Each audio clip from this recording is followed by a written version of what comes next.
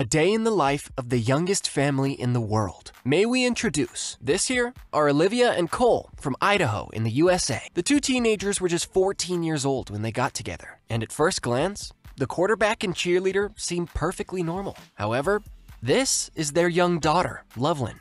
Yes, you heard that right. Olivia and Cole already have a daughter. And while other 14 year olds are just figuring out for themselves what they want their future to look like, the two students of the same age had to consider whether they actually wanted to bring a new life into the world. But the couple decided to keep the child and have been raising her together since then. How the three of them managed their everyday life, and why Lovelyn turned the life of the two high school students upside down.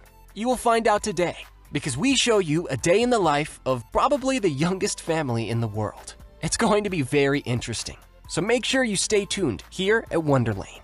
Oh, and write us in the comments if you would like to have children yourself one day and what you think is the best age to have children. We're curious. But before we start with the daily life of the youngest family, we want to introduce you to the three in detail and explain how it came to the early pregnancy. As we just mentioned, Olivia and Cole met when they were just 14 years old. A friend set the cheerleader up with the football player, and they became a couple pretty quickly, much to the chagrin of Olivia's father, who was against the relationship from the very beginning. He believed his daughter was still too young to have a boyfriend. Olivia defied his dating ban, however, and she met up with Cole regularly after class. After a short time, the 14 year old suddenly became very ill, and she had to stay in bed for a week. The reason was not food poisoning or a nasty flu. Instead, Olivia secretly took a pregnancy test and had the certainty that she was expecting a child. For the student who had just entered high school, it was an absolute shock. Cole also reacted in panic at first, but for the teenager, it was clear from the beginning that he would stand by his girlfriend, and the two decided to have the child together. Olivia's parents, however, were not so relaxed about the whole thing at first.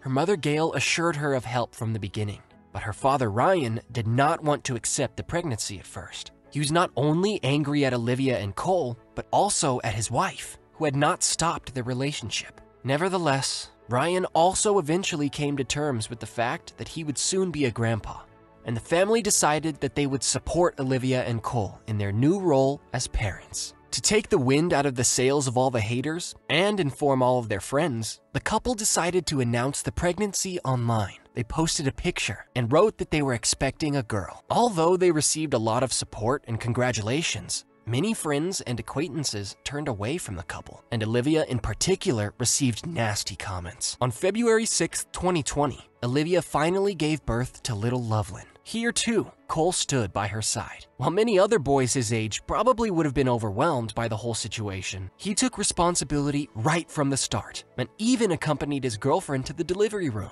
Since then, little Lovelyn has really shaken up the daily lives of the two teenagers and their families. During the week, Cole lives with Olivia at her parents' house so that he can spend extra time with his daughter and his girlfriend. The three of them share Olivia's old nursery, which they have furnished with a changing unit and a crib. While it was very practical to sleep together in one room in the early days, it is now getting too cramped in the small nursery. So the young parents dream of owning their own home one day. You'll find out later in this video how far along their plans already are. As mentioned earlier, the two are still students, and in fact, they haven't given up on their school careers despite having a baby. Instead, they get up very early every morning to get ready for high school. During last year's corona lockdown, the two participated in homeschooling for a few months, like many students around the world, but they have now returned to compulsory attendance. Cole and Olivia attend two different schools, and while they sit in class, Grandma Gail watches their young granddaughter. But before the teens leave for school, they also have to wake Lovelyn up and get her ready for the day. The two often do this together too,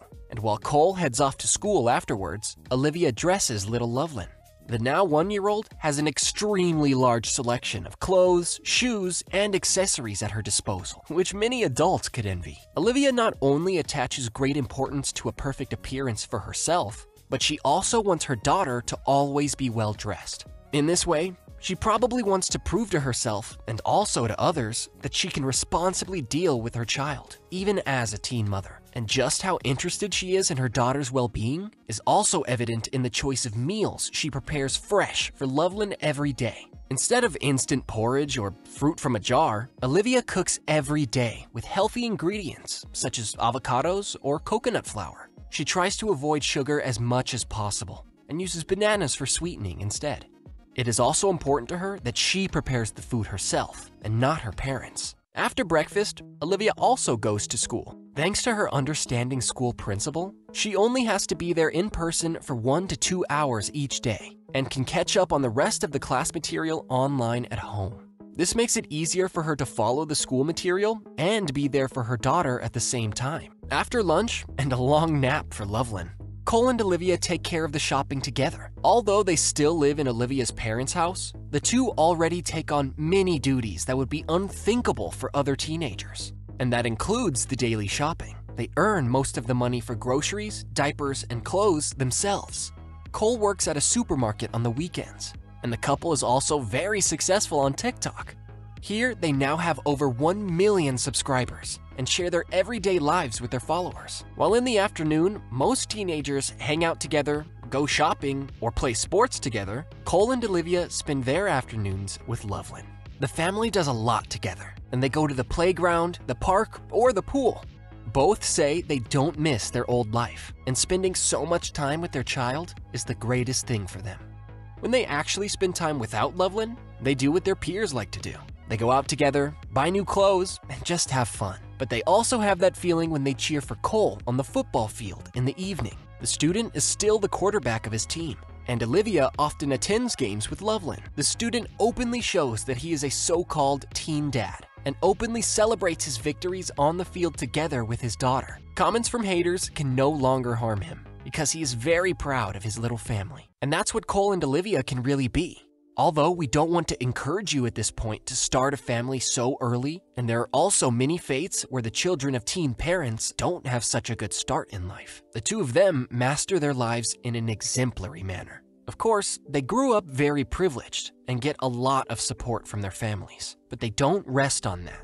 They took on an extremely large responsibility at an early age and want to be the best parents for Lovelyn. In the meantime, the two have even managed to graduate without having skipped a single year of school. To top it all off, they've been able to save up so much money over the past few years that they were able to move into their first apartment together just a few weeks ago. The next step is their education. They both want to get a license as real estate agents and then start their own business. So now they are really standing on their own feet. That's it for our video. Write us in the comments what you think of Cole and Olivia and if you could imagine such a life. Otherwise, like this video if you enjoyed it, and see you next time, here at Wonderlane.